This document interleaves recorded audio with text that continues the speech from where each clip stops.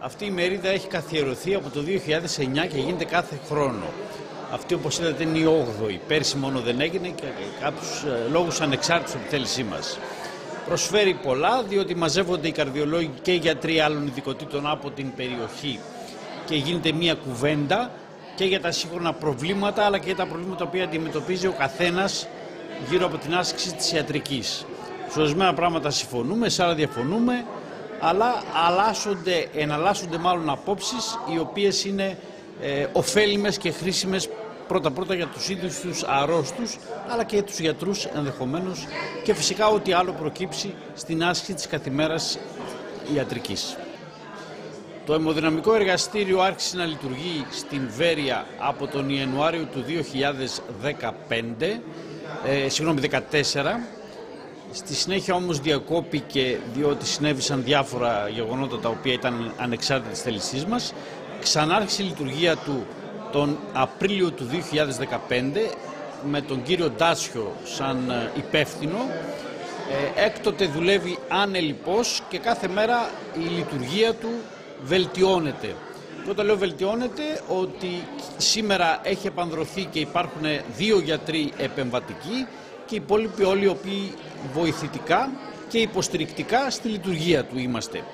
Ε, αυτή τη στιγμή έχουμε πλησιάσει τον αριθμό των 1200 στεφανογραφιών και γύρω στις 300, αν θυμάμαι καλά, 300 με 350 άγκιοπλαστικές ε, με σχεδόν 100% επιτυχία και λέω σχεδόν διότι πάντα ένα τέτοιο εργαστήριο θα έχει οπωσδήποτε και, και κάποια ανεπιθύμητα συμβάματα. Προσπαθούμε όμως να τα περιορίσουμε όσο το δυνατόν και να βελτιώσουμε συνέχεια την παρεχόμενη υγεία. Ε, ο στόχος μας σε πρώτη φάση ήταν να ε, εξυπηρετούνται τα οξέα ισχυμικά επεισόδια και ιδίως τα εμφράγματα, τα οποία όπως καταλαβαίνετε είναι και τα πιο δύσκολα και τα πιο επικίνδυνα ε, στην, για την οξέα φάση, μιλάω πάντα.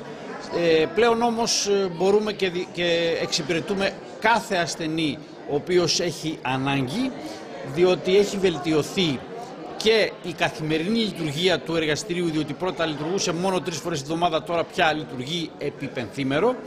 Και αυτή τη στιγμή, εκτός από τη Βέρεια, εξυπηρετεί την Κοζάνη, το νοσοκομείο Κοζάνης, την Κατερίνη, την Έδεσα και υπάρχουν και περιπτώσεις από μακριά, από την ε, Χαλκίδα, έχουν έρθει περιστατικά και το πιο μακρινό από την Σάμο. Αυτό βέβαια εκτός του επιστημονικού κύρους που προσδίδει όπως είναι για μας, δίνει και στην περιοχή ωφέλιμο, διότι μαζί με τον ασθενή αυτόν θα έρθουν και οι συνοδοί, οι οποίοι θα παραμείνουν στην περιοχή, θα φάνε, θα κοιμηθούν και φυσικά όπως καταλαβαίνεις ε, ευνοείται και η περιοχή, η τοπική κοινωνία από αυτή τη διαδικασία. Πιστεύω ότι η λειτουργία καθημερινά θα βελτιώνεται και μαζί με αυτό φυσικά και τα ωφέλη τα οποία θα προσδίδει στην περιοχή. Καταρχάς ε, κάθε επιστημονική μερίδα αποσκοπεί στο να ενημερώσει για τα τρέχοντα προβλήματα της υγείας ώστε οι γιατροί ενημερωμένοι πάντα αποκτούν περισσότερες γνώσεις για να μπορεί να προσπελάσουν το πρόβλημα της υγείας του ασθενούς και να βελτιώσουν την πορεία του. Είναι αυτή η σκοπή κυρίως των ημερίδων. Όσον αφορά τώρα η μοίρα του νοσοκομείου μας, έχει καθιερωθεί όπως είπε και ο προηγούμενος ο κ.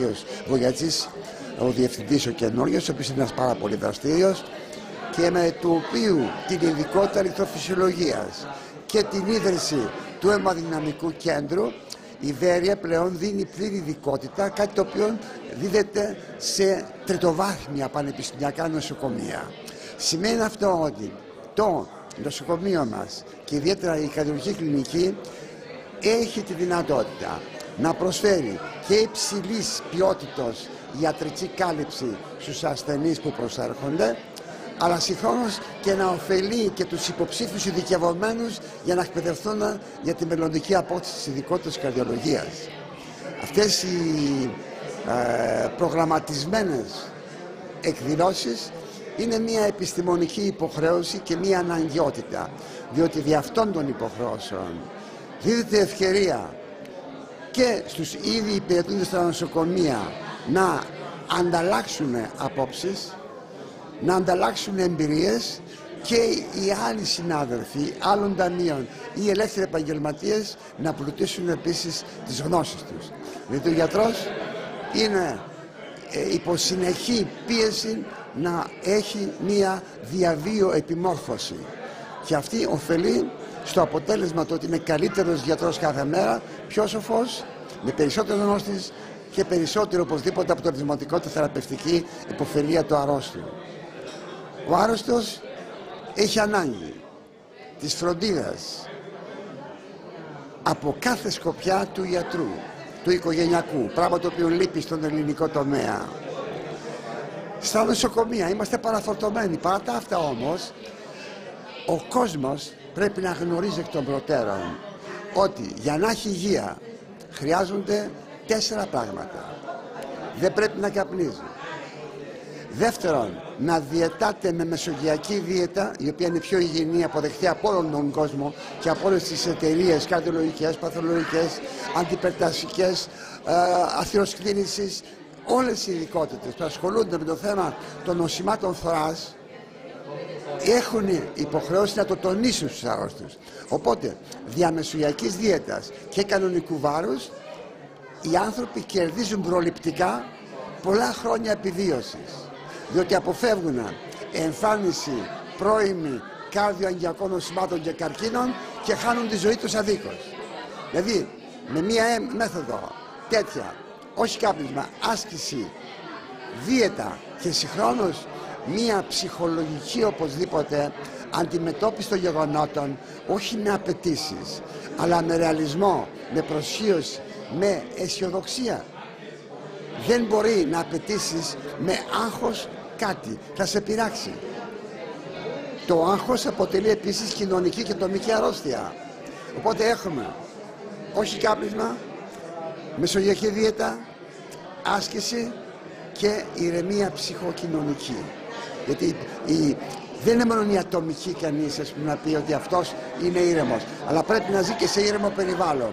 Παράδειγμα τώρα με την οικονομική κρίση έχουμε αύξηση των ας πούμε πλεονεκτημάτων της υγείας άλλοτε, ελάττωση φαρμάκων, απώλεια ζώων, αύξηση άγχους κατάθλιψης, αυτοκτονίες. Οπότε χρειαζόμαστε αυτή την ψυχοκοινωνική επίσης ισορροπία. Και τα συνέδρια και οι μερίδες και η δική μας ημερίδα σίγουρα θα δώσει το έναυσμα και θα δώσει οπωσδήποτε περισσότερη γνώση για τον ακροατή ο οποίος παίρνει μηνύματα και βελτιώνει τη συμπεριφορά του, την επιστημονική και την κοινωνική. Ναι,